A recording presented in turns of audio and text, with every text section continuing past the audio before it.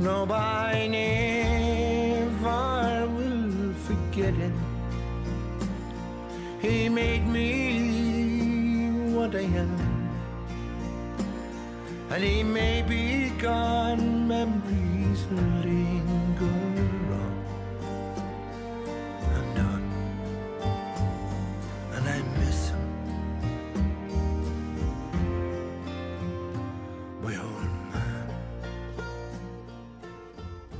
That was Finbar Furey singing about his father, Ted Furey. So, who exactly was Ted Furey, his old man? My father worked um, for uh, Slater's Garage, which was in Kilmainham at the time. Little bits and scraps, I remember. He became a qualified mechanic, but he went to uh, Puck Fair when he was 17 with Charlie Slater, who was a racing driver who got killed afterwards in a, in a crash. Anyway, they went down to the Puck in a motorbike and sidecar which was you couldn't you wouldn't see them in them days. And my father was sitting in the sidecar, you know, and he had uh, his fiddle with him, and off he went to Puck Fair anyway. Charlie Slater met up with uh, Jack Doyle, the actor. Yeah, anyway, he was very, very famous at the time in Ireland, and they met, met him at Puck. So my father got the motorbike and sidecar to take back to Dublin, and Charlie Slater went off with um, Jack Doyle. So my father was um, heard my mother singing, you know, standing and sing buskin, and she was singing whatever, you know, whatever song, playing the banjo, and he started just, well, he couldn't get over, so he one thing led to another, find out where she lived, and went up and met up with her parents and took her out and uh, had a chat and they played a few tunes together and hit it off. So I think when she saw the motorbike and sidecar, it was love at first sight, you know what I mean? and they got married, I think, three days later in Castleisland. Three days, and um, he put my mother into the sidecar and then took her back to Dublin, and that was it, you know.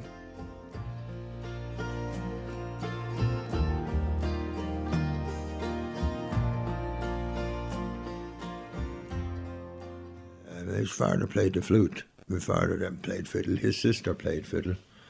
Uh, the, and their daughters, when eventually they played fiddle, they were all mad at the fiddle and mandolin, you know. The Furey Boys, Finbar, Eddie, George, and the late Paul, were introduced to Irish traditional music by their parents, Ted and Nora. They each mastered their respective instruments, tutored by their parents, and serving demanding apprenticeships busking at Croke Park and other outdoor venues from an early age. All this found exquisite expression in the world famous Furey Brothers and Davy Arthur. The Fureys were one of a small number of traveller families who played Irish traditional music at open air events such as fairs and football matches. Because they were small in number, these families formed close bonds. They included the Keenans, the Dorans, and the Dunns. John Keenan and his musical children lived close to the Fureys in Ballyfermot.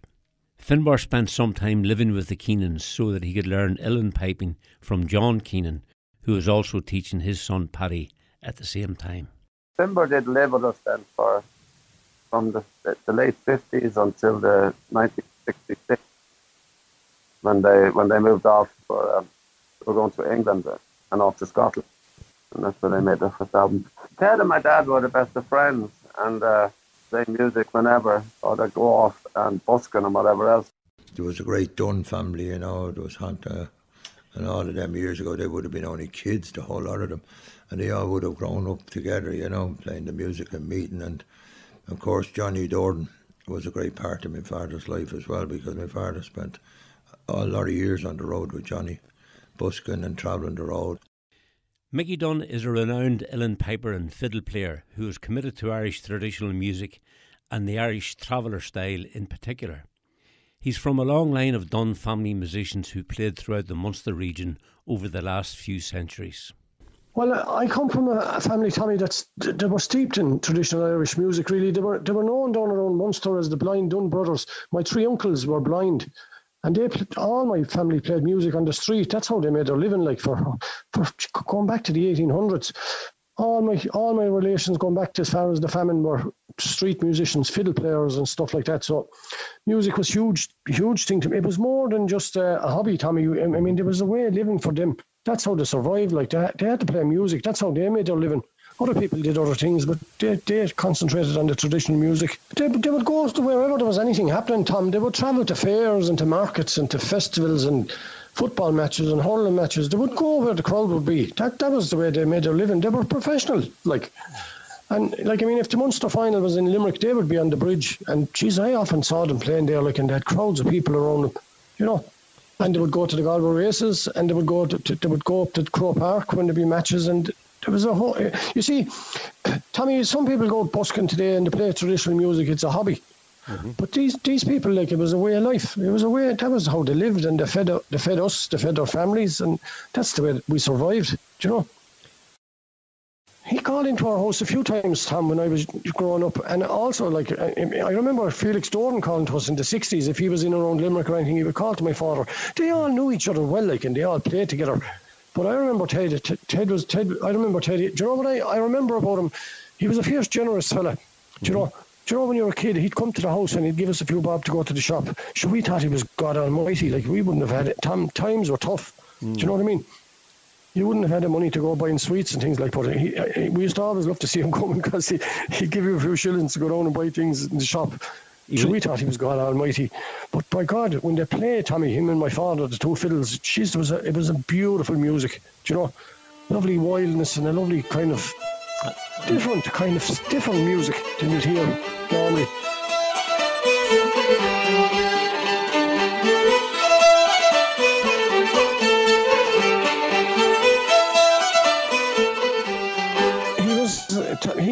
Was a great fiddle player, Tommy. He was a fiddle player that was way ahead of his time, to be honest. He could play anything, like he could play a bit of classical music as well. He could vary it up, like my own. My, you see, Tommy, when you're on the street, you have to play it to the crowd. Do you know? It's not everybody likes traditional music. You know what I mean? Ted and Nora settled in Ballyfermot and had four sons Finbar, Eddie, Paul, and George. The brothers were coached in the art of music making by both their parents. My mother would have started oh, yeah. Paul, you know. My mother played the, the melody. She was great. Mm. She was a smashing player, and she used to do. Um, there's one fair county in Ireland. Da, da, da, da, da, da. That'd be one of the four tunes Paul would have learned, yeah. Yep. And she would play that on the accordion uh, and sing it, you know. Mm. And I remember Paul picking the accordion. Paul was a good singer with the box flute. I remember um, we all learned to play that piece of music on the box. We could all play. I could play it. Boys of the County Armagh. Yeah, Eddie could play it. My mother taught us. That was, you know, chewing on the box.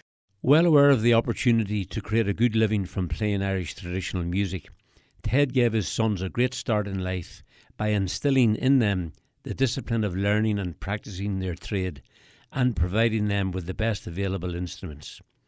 According to Finbar, the house was always full of banjos, fiddles, accordions, whistles, guitars, and pipes. Eddie and I went with him in the beginning when we were kids. We were only about eight years old, seven or eight, and we busked with him. He, you know, and that was a great training for us when we were kids, you know. To busk with your he didn't. He didn't have to busk. He just went. He did it, you know. And he says, "Come on," and it got us to know the tunes and learn different tunes, you know. And he would be there with us, and he wouldn't stay with us. He'd leave us then and come back a half an hour later and mm. see that we're all right.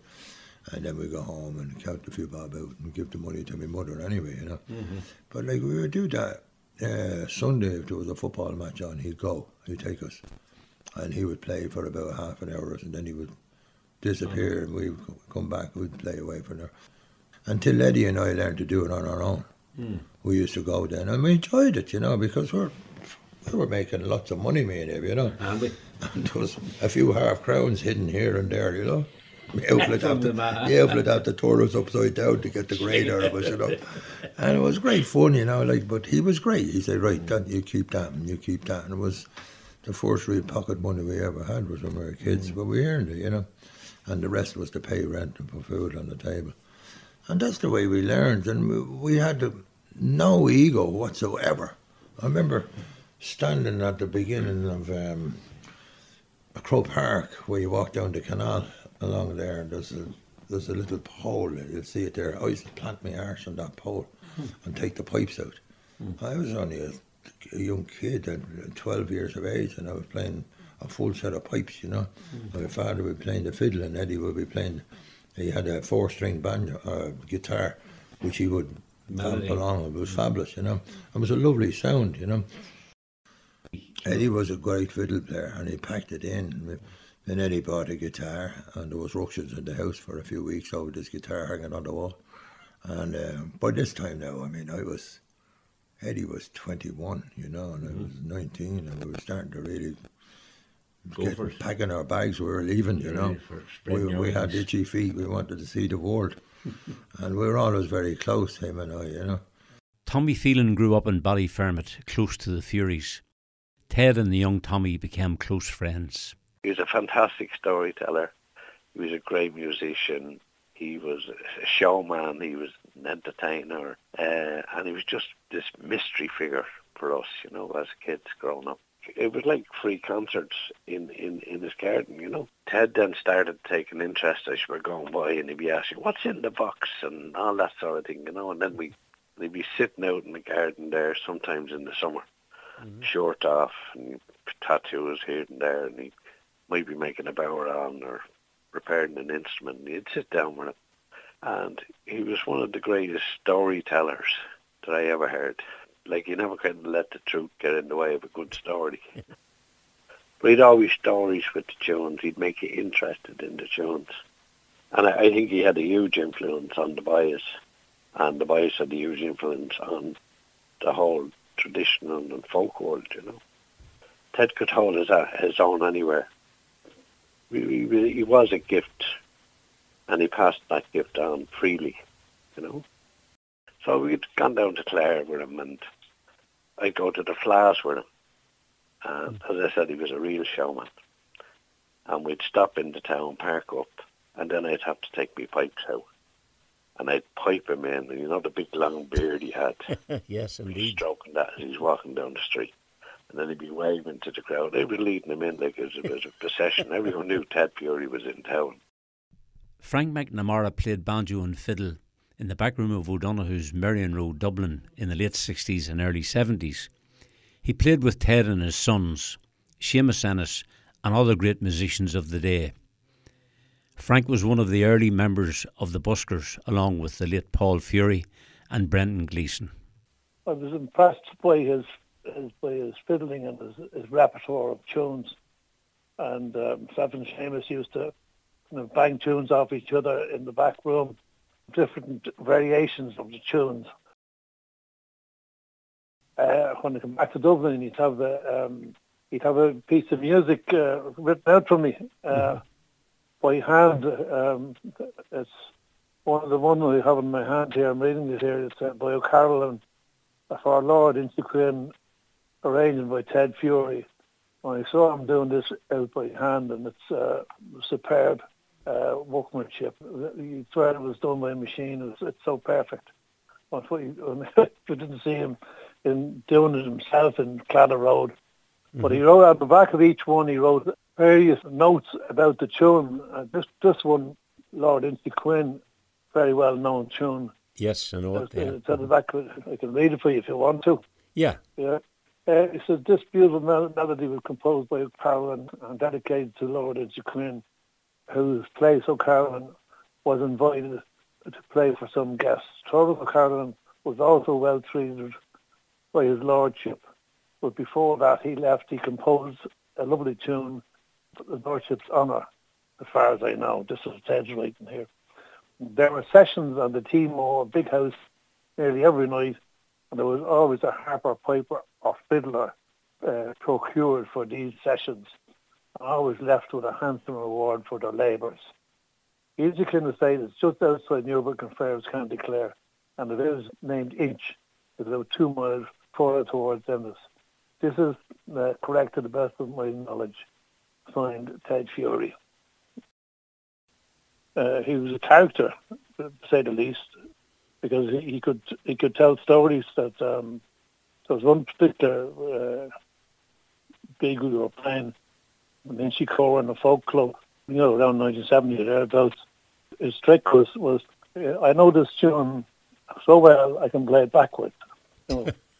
and everybody would say, oh, Ted, you can play it backwards. He yeah. So he stands up and he's turned it back to the audience and playing the tune. that was that was the kind of a, a character he was. Uh, I think the tune was called Brian O'Lynn. Uh, some fiddler from the Kilfenora Céilí band came over one night. We were playing in a session, and um, it was kind of hard to believe the amount of tunes that they were playing. They were playing it at three, three or four in the morning, banging off each other with different tunes. You know, this one takes. Yeah. You know that, uh, but he, he could keep up with uh, his repertoire of tunes. Uh, he could keep up with any of them. Ted and Nora had done their work well.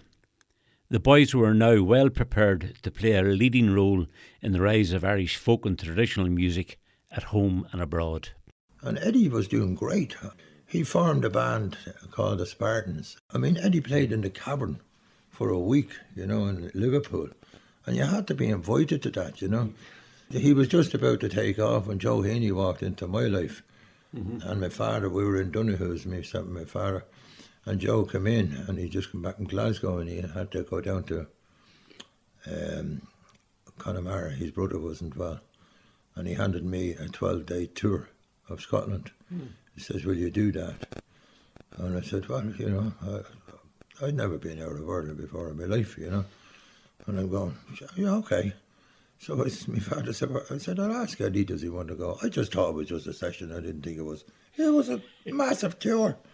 when we went over, we, we couldn't believe it, you know. The place was packed. The Royal Hotel in Aberdeen was our first gig. They were hanging out the walls to see this young piper because they'd already put in the paper. yeah, yeah. And, um, and his brother singing. Eddie had a 12 string guitar. He was like an orchestra when he opened up, you know. And then the full set of pipes and then his voice, you know. When we went to Scotland, coming back to Scotland in 67, to do Joe Heaney's tour, we didn't need any practice. We knew everything, Lagan Love, I know where I'm going. We had um, oh, the Bonny Bunch of Roses, oh, we had the, the Rocks of Heaney. I had all these melodies and slow airs that I'd learned. I was piping like a lunatic, you know. I mean, the regulators were just hopping on my wrist, you know. And I used to play the I learned a Scottish piece of music called the Bluebells of Scotland. And you hit the regulators and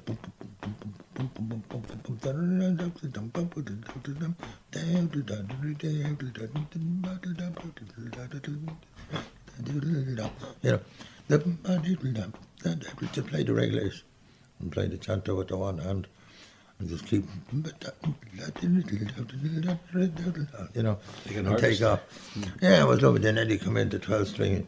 Sure. And then when he sang, Eddie has a great voice. I mean, he's, mm-hmm. it's wild. It's like it's just raw, Beautiful you know. Voice, yeah. I mean, he sings, there's nothing, he's just straight out, you know. Mm-hmm.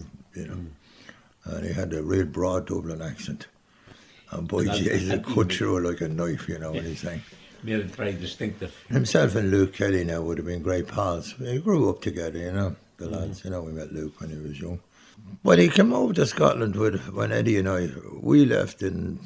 I still remember the fifth of February, nineteen sixty-seven. Mm. We left Ireland, and uh, we went away for two weeks tour, but we didn't come back for ten years. So we we went to went down into England, had a look at England, and mm. you know, and um, we met up with some great people, you know, like Martin Carthy, Dave Swarbrick. At the time, it was the whole folk revival was starting in 1967 in Britain, and we our base was in Edinburgh. What was we, the name of the pub? It was famous pub. Yeah, Sandy Bell's. That's it. Yeah. And we met some extraordinary people. One in particular, and I often said there should be a monument put up to her, you know. And she was from Belfast. Her name was Diane Halley, and Diane had a commune house which was musicians and artists. You know, you could stay there, mm. you know, mm. and we had a room, Eddie and I would have a room there, and she'd keep that for us. And, you know, you had Ewan MacColl and Peggy Seeger stay there. Yeah. Martin Carthy's, Dave Swarbrick stayed there, Dransfield stayed there, Robin and Barry. You had Alex Campbell would have stayed there, Hamish Imlach, all these amazing folk singers. So we had a whole big, the Corries would spend the after, they wouldn't, they, they, they had their own place. They were from Edinburgh. But, and Roy had his house on Stirling Road. I always remember Roy Williamson. And I remember Roy coming in one night and he was, um, oh, was he had a bottle of Bell's whiskey in one hand and the guitar in the other. And I, I said, come on, I was 20, 22, I think, at the time, 21 or 22. And he came in, he says, You have to hear this song, I've just finished it.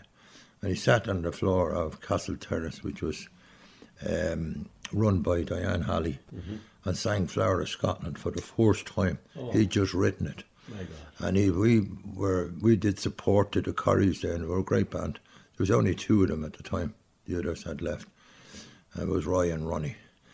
And uh, the two boys went on to Caley Cinema, I remember in Edinburgh, and they sang this song at the end of the night, and it just, the people just floored them. And it just got bigger and bigger and bigger.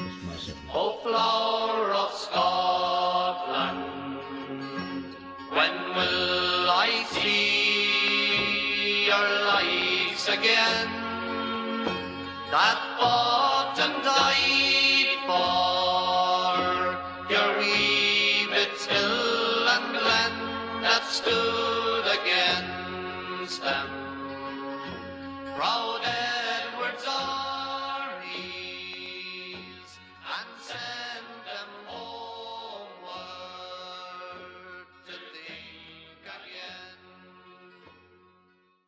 took him to Denmark, Eddie and I, at a big festival years and years ago. Would have been about 1968. Copenhagen was a big folk festival where there was all Romanian musicians, Swedish musicians. It was a great mixture of trad music from different parts of Europe. And he hooked up with these Swedish fiddle players. And Danish fiddle players. I didn't even know these guys existed. And he'd bring them along and they'd, they'd come home here, they'd come back to Ireland.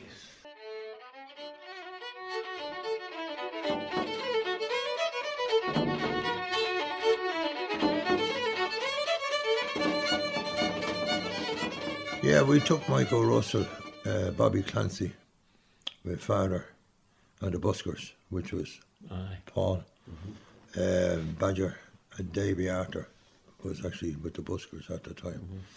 There was no Furey Brothers in them days. It was just Eddie and I. And Eddie and I were absolutely. We took on the universities in Germany, Eddie and I, which was a very wise decision because the Dubliners used to come in and do the halls. So the only two little Irish bands that were playing out there was Eddie and I and the Dubliners. There was nobody else at What, the time. what year was this around? roughly? 1971, 72. Okay. And um, in 1973, I'd say we filled the Corona Hall in Munich, which is a holds 5,000 people. So I leave it to your imagination.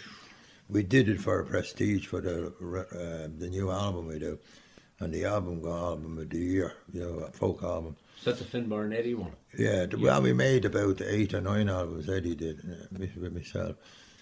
But when my father and uh, Michael and Bobby Clancy got together, the three of them on stage, they were magic, only magic. Mm-hmm. Um, Michael would play. A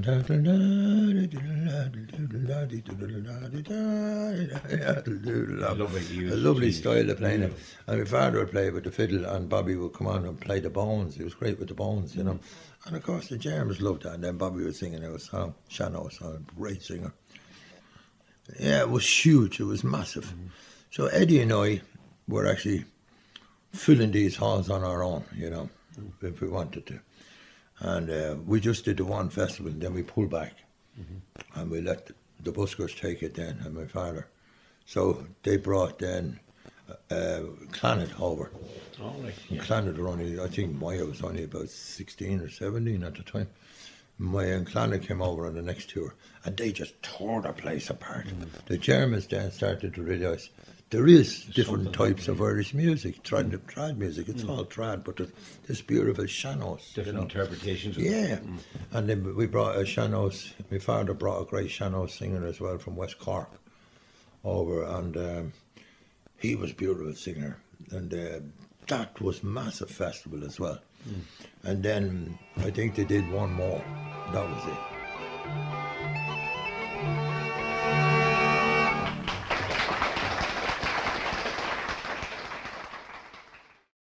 Ted was very fond of Doolin and he, and he promoted Loved it. He did always, and we so did we, and with Michael. And then, you know, we used to say, "You have never lived till you've been to Doolin." You know, you mm-hmm. have to go to Doolin. We used to say all the time, all the time. We formed the band in 1978, and by the time Sweet 16 came out, which was 1980, 81, mm-hmm. you couldn't get a- place, a seat in a pub in the west of Ireland with the mm. Germans came in. And with they bought houses, all the Germans and everything, you know. But, you know, it was, then Clannad came over, they done and then were, came over the, at the next, the other tour, you know. And it, it was just took off. It was fantastic, and it was a great idea. So everybody got a piece of the cake, you know. Ted passed away in, in Doolin. He did. He, he, um, I was in Tübingen in Germany with my brothers and the band. We were doing a tour over there, and um, I got Sheila had phoned me up and said your father died in Doolin tonight, and I said, "Oh Jesus!" And we cancelled everything. We flew home that night after the concert. We went straight to Frankfurt Airport and got a flight and came home to Dublin. It broke my heart. Was it a heart attack? An aneurysm, yeah. All right. And um, he um, seemingly he was having a cup of tea in the bed in B where he was staying. And the owner of the place, so I went to pick up his bag. The owner, um, I asked him what happened, and he said he just fell to his knees and he was dead before he hit the ground. And I said, "Oh, okay." He didn't suffer. No, Yeah. he didn't. And um, so I remember collecting his bag, and they wanted to bury him in Doolin, and I said, "No, I'm taking him back to Dublin." And um, I took his bag and his stuff, you know, and um, you know, cried my eyes out for about a week, and couldn't believe he was gone because he was only, he would have been only about sixty-four or sixty-five, you know. But uh, he was an amazing, amazing character.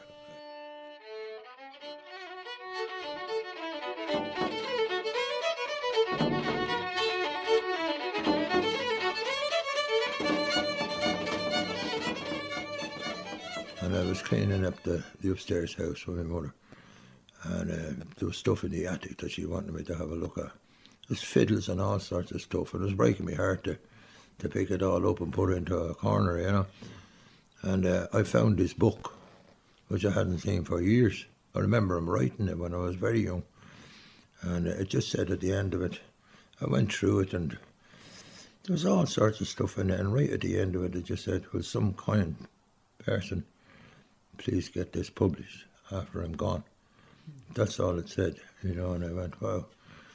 And um, then it was lying there for years after that, and Anya, our daughter, decided to bring it into UCD. And when they brought it into UCD, she, you know, she they looked at it and they said, wow. Then it goes back to 1920, 1922. This is a whole history of fairs and where he picked up stuff and where he picked this music that he, he got off Johnny Doran. He was lilted and Johnny would or he, Johnny would lilt it and my father would write it, you know. Or he'd play it and my father would write it. And It's not just that though, it, it really is so much more than that. Even the cover of the collection, the cover of the manuscript, it, it's a work of art in itself.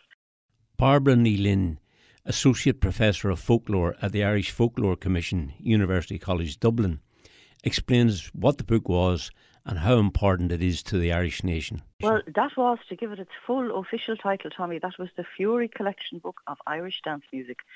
And the work itself, I mean, it's clearly a labour of love. The uh, vital statistics, I suppose, on it are that it's about 130 pages long and it contains almost 200 tunes. And that wasn't even the complete and full repertoire.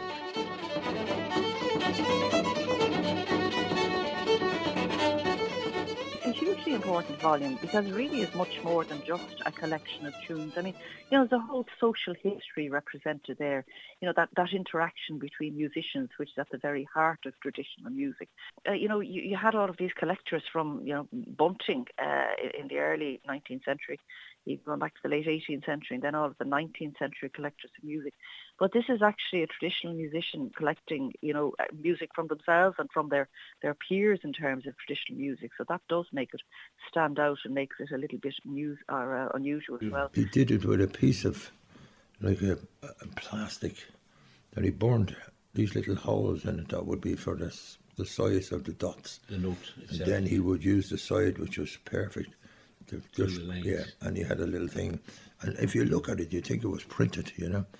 And I remember he would, you know, to save electricity years ago, he would light a couple of candles, you know, and he would sit down with the book and we'd be all put to bed. And he'd stay, you know, you, just maybe hear him going to up this coming up the stairs three hours later or two hours later, he'd be writing, you know. And he finished it, you know.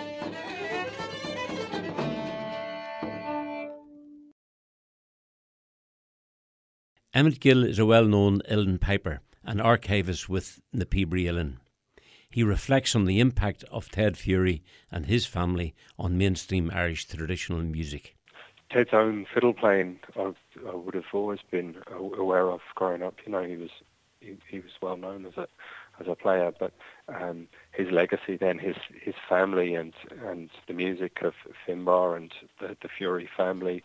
You know, we, we, we can we all know how, how important that was to popularise traditional music in the 1970s. Um, Finbar's piping has always been a great interest and uh, inspiration to me. It's, it's wonderful to see him playing, and we can see that just that family legacy passed on through Ted on to his sons. It's it's, it's fabulous to see. Yeah. No, I never will forget it. He made me what I am. He may be gone, memories linger. And I, and I miss him. The old man. He lived a great life, you know. He enjoyed every minute of it with the music.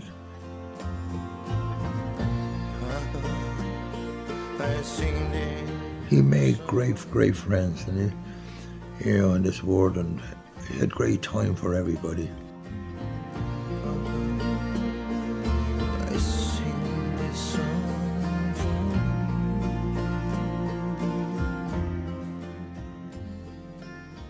Finbar's passionate love and gratitude for his parents' gift of music to him and his brothers Eddie, Paul, and George is evident in Finbar's composition.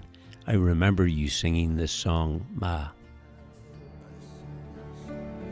I remember the day my mother passed on. My father had gone just a I sat in the church and I listened to all. From a distance, I heard this old song. Did you, was your mother a believer? Oh yeah, my mother went to mass all every Sunday. She wouldn't miss it, you know. Hmm. She would go on, you know. Both of them would, if they were together, they would go together. You know. I wonder if he's teasing you now. I wonder if he's holding your hand. Love has a way of never letting go. Should I know you're together somehow?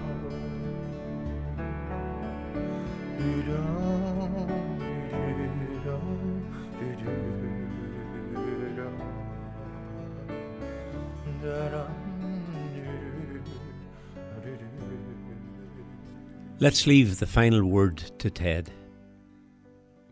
Lawrence Quinn and Thuram Malone. Uh, those are minuets composed by O'Carolan, or waltzes, if you like.